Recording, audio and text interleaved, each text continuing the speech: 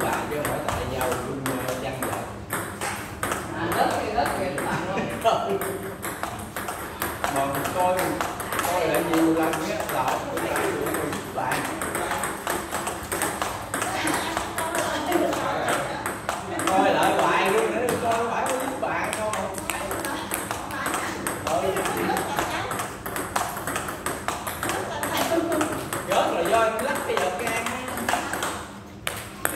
giận nghe vậy nè? Làm cho cái cái vợ nó khóc.